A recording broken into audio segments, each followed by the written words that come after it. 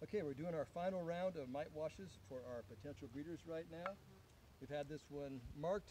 It's had three different dates, June, uh, August, and uh, September. Mite counts of one, one, and zero. This is now uh, uh, no, November 8th, so we're gonna see whether this one maintained the mite counts. No treatments, all season long. Started with a nuke this spring. Open it up.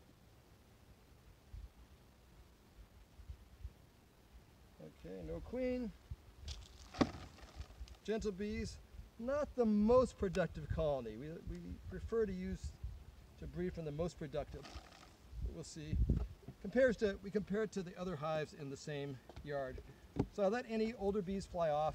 We don't have very many here. Take a close look for the queen. Bang them down. Scoop it up like this.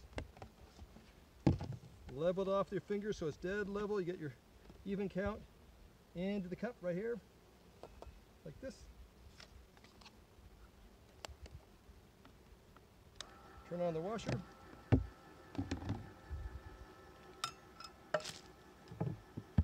Now if the washer were elsewhere, I'd put the tag on here so we can go back and figure out what we have.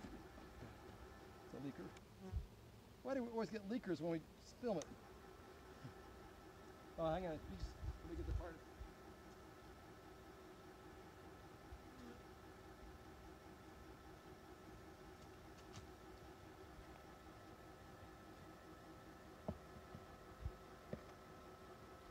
We just replaced the lid when we have leakers, so this lid's going to be toast.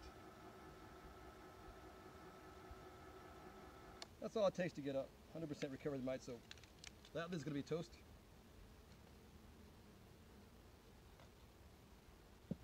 Make sure there's no mites floating.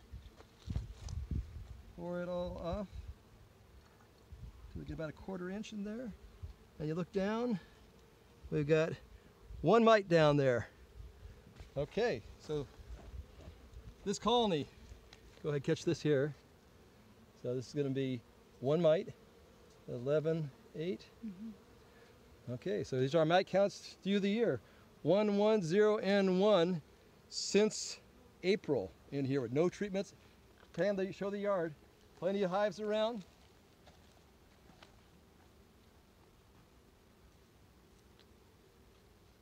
Wonderful.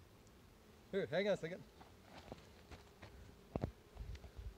And we'll get my assistant Brooke. All right.